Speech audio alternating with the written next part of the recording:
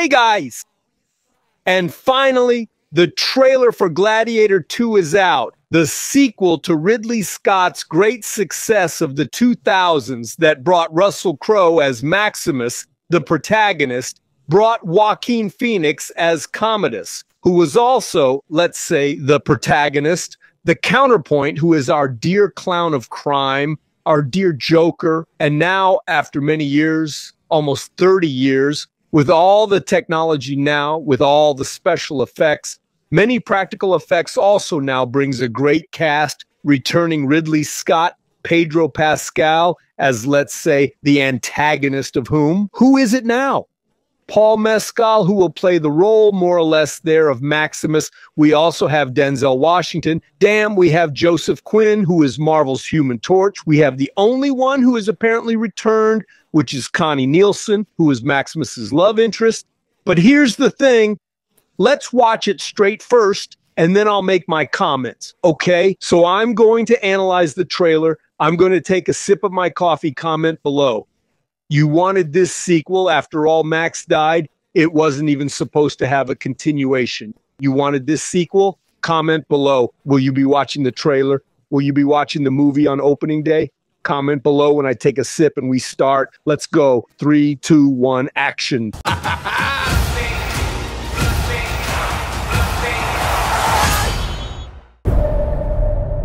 I remember that day. I never forgot it that a slave could take revenge against an emperor. Where were you born? I don't know. I never knew a mother nor a father. You will be my instrument.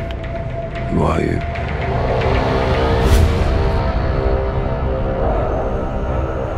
Did you hear that crowd? The greatest temple Rome ever built. The Colosseum. Because this is what they believe in power.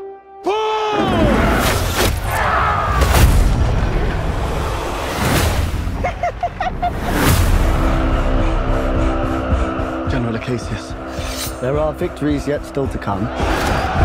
Rome has so many subjects, she must feed them. They can eat war!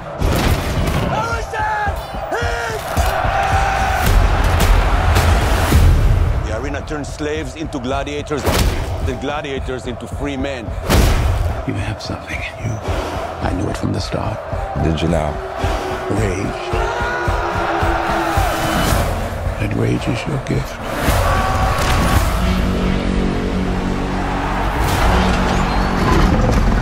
This is about survival!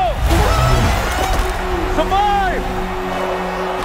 Hold together and when the charges break for the wall.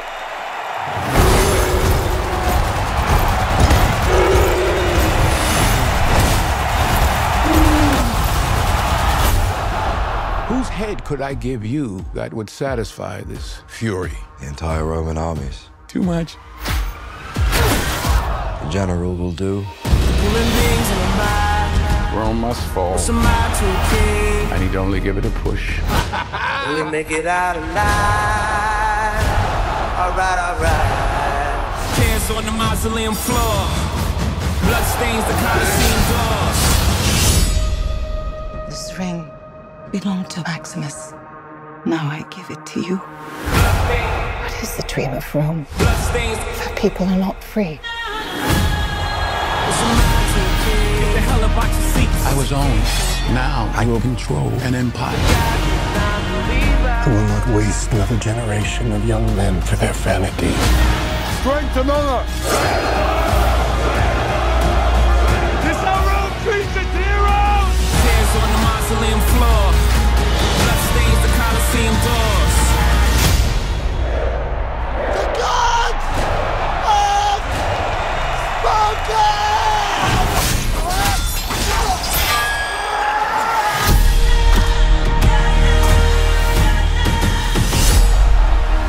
Guys, there's no way not to get excited. I believe that unless Ridley Scott really tries, he won't fail with this movie, right? The only issue is that it cost around $300 million, if I'm not mistaken.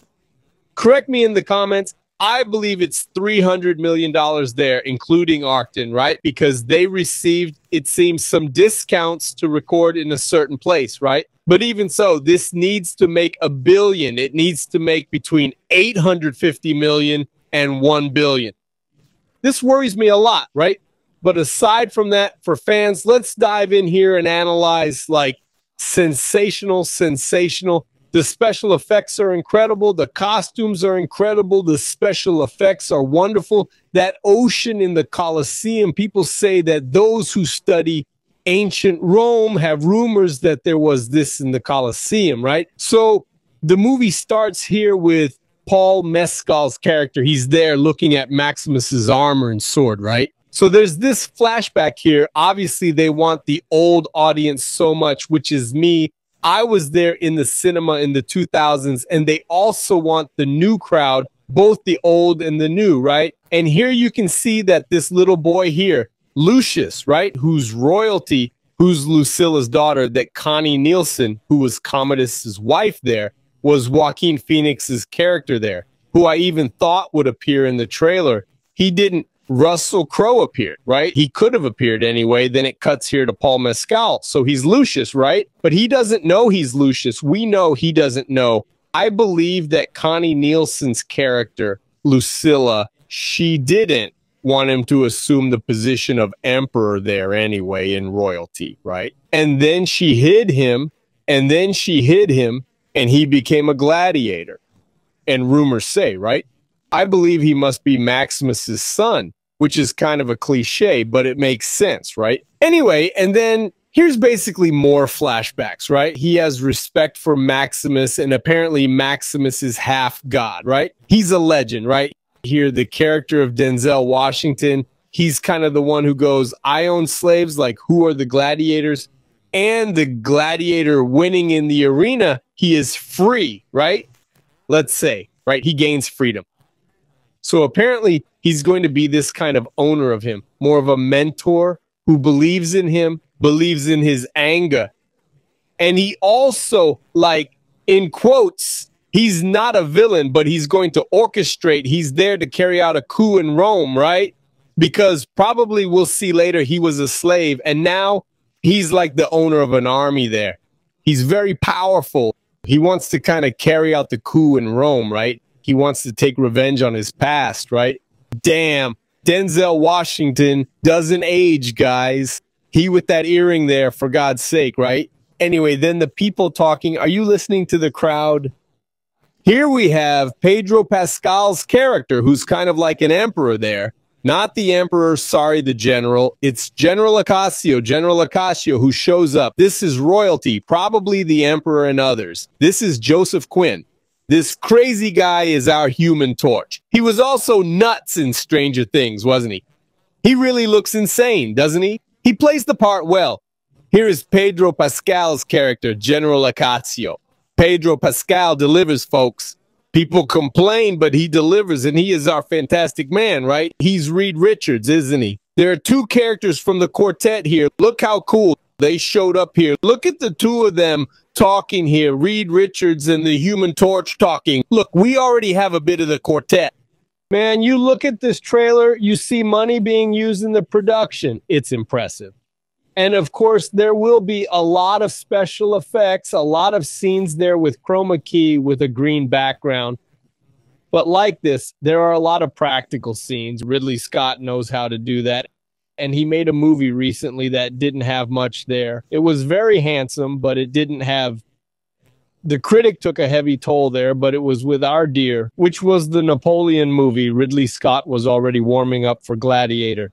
Because I'm not talking about the stories themselves, but about making period movies with wars and such, with fights. He was already warming up for Gladiator 2. Anyway, it will show the life there.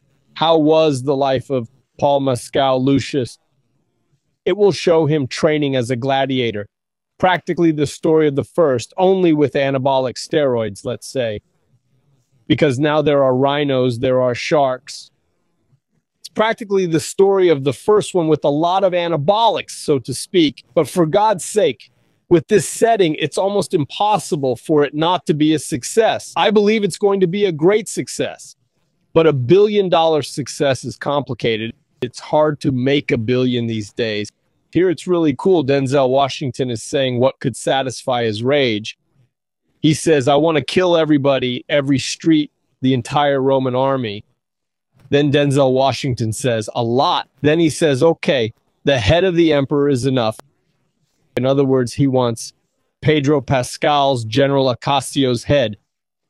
Here, Denzel Washington says that to make Rome fall, he just needs to give a little push and the rest will be done automatically. There is a crisis in Rome. The emperors are destroying Rome, so to speak. Pedro Pascal is pro Rome. He doesn't want the empire to fall. He's a villain, but not that big of a villain.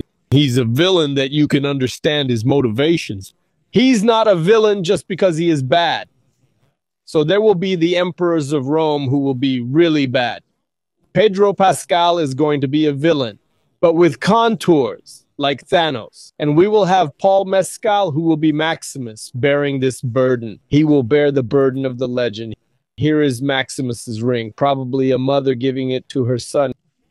Here is the armor. He's going to wear the armor. Look there, he's getting it. He's going to wear Maximus's armor.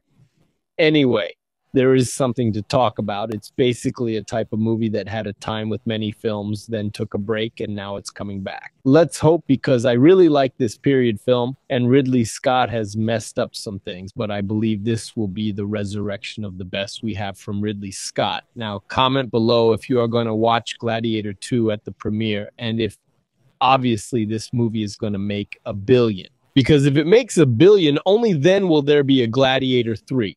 Comment below, I want to know. Remember to subscribe to the channel, hit the like button so you don't miss anything. See you in the next video. Goodbye.